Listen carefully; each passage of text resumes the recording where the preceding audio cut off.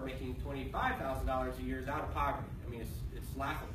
Uh, the standard was set back in the sixties on a very arcane measure, uh, yet so much is still dependent on this, this metric. So we are really reframing to think about self-sufficiency. What does it take for a family to make basic ends meet? And by a lot of measures, that's about double, if not a little bit more, double the official poverty rate. So to give you a sense of that, for a family of four, that's about forty-eight, fifty thousand dollars a year to meet basic needs.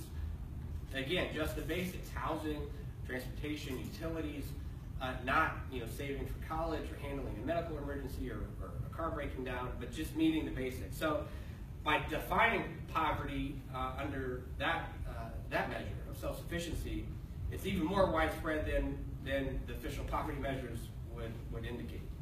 Do you have some Across the entire region, but you have some figures from Hamilton I County using those? I sure do.